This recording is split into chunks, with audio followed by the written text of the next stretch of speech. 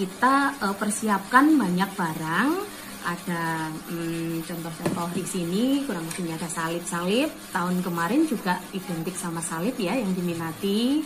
Terus ada juga tempat pensil dari kayu yang kita buat eh, seperti nuansa ah, kita buat Natal, aksesoris Natal. Ada juga yang selalu diminati angel untuk tempat lilin dan untuk salib-salib seperti ini tetap diminati sama masyarakat. Nah, ini kan tetap cantik ya. Tahun lalu juga diminati dan tahun ini tetap diminati karena model-model seperti ini kan klasik ya. Paling luar biasa. pelanggannya dari mana bu? Kalau jumlah orderan memang luar biasa banyak sampai-sampai bulan-bulan 10 kemarin eh, hampir bulan awal bulan 11 itu untuk Desember sudah saya close. Sekarang aja untuk Januari sudah saya close. Setiap harinya memproduksi berapa jumlah aksesoris bu saat ini? Untuk jumlah eh, tergantung ya besar kecilnya dan tingkat kesulitannya. Kalau barang-barang seperti ini satu harinya anak satu itu bisa menyelesaikan sekitar 35 piece.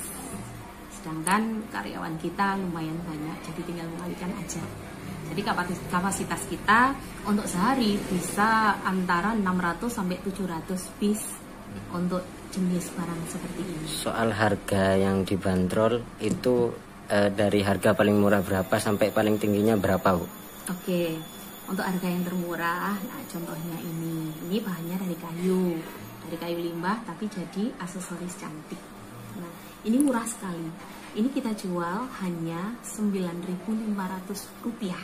Kalau yang paling tinggi berapa bu? Kalau yang paling tinggi kita eh, sesuai permintaan juga, tapi salah satu aja contohnya ini Eh, paket satu paket eh, souvenir ini saya jualnya 225.000 Kalau omset per bulannya biasanya normalnya itu bisa meraup omset berapa bu? Rata-rata hmm, untuk omsetnya kebetulan pada saat Desember ini bisa naik dari 30 sampai 40 persen dari omset rata-rata bulan biasa. Berapa bu diperkirakan bu? Kalau rata-rata satu bulan eh, sekitar 150, ini eh, syukur puji Tuhan bisa mencapai hampir 200 juta per bulan.